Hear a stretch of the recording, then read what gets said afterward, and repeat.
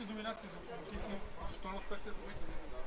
Защото не можахме да отбележим още един гол. Мисля, че ако бяхме повели с 2 на 1, не виждах как те ще успеят да ни изравнат, но ако някой очаква, че ще бъде лесно, може отстрани да е изглеждало така, но не беше.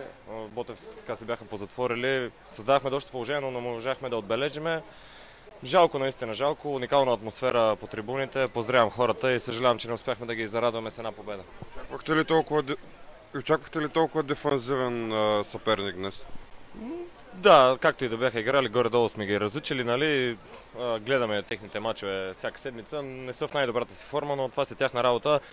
Горе-долу така очаквахме, да, да се бранят, да чакат своите шансове на контратака. За наше съжаление, още в първата ситуация така отбелязаха гол.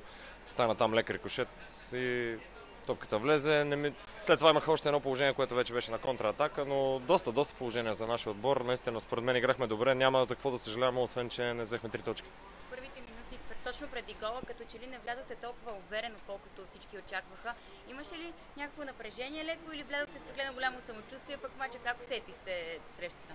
Аз лично, моето мнение е, че малко така с прекалено вдигната глава влезнахме в двобоя и този гол така ни събуди и показахме наистина нашето лице. Надиграхме ги тотално, пак казвам, така че не е проблем, че сме влезнали толкова лошо. Ти беше много силен днес или Ботев беше много слаб?